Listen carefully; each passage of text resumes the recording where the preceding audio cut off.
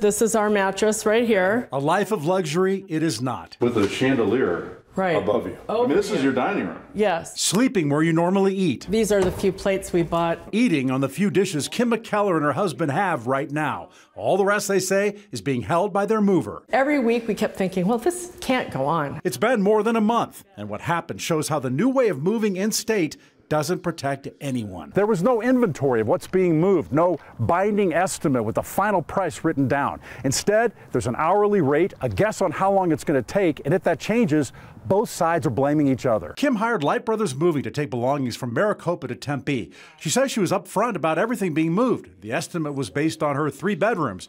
Ended up just a line in an email. I found two different emails, six to seven hours total. About $875 if you add it up. The day of the move, Kim says, it was taking much longer. At 12 and a half hours, they had not even removed all the items. I had to move the remaining items the next day myself. Kim blames the mover, says the trucks were too small. Even one was a flatbed, open air, and it required multiple trips. I said, it's going to be three o'clock in the morning.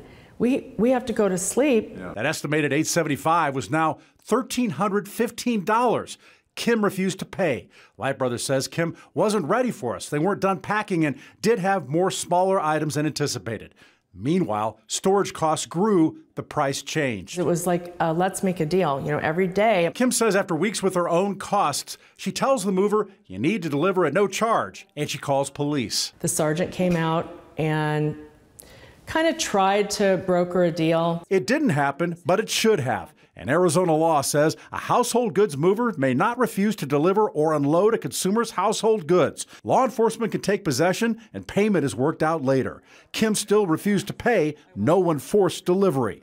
Light Brothers says they tried repeatedly to deliver and would have without demanding payment up front. But Kim points to an early text. The movers saying, I'm done talking unless you're willing to pay and have us unload. Movers did finally deliver about six weeks later. Kim didn't pay, and Light Brothers says they likely won't fight it. They say we could have done an in person estimate and should have, and they apologize for any stress caused. If you move, demand a total price estimate and an inventory of everything being moved. It's the only way either side can protect themselves in case there's a problem later.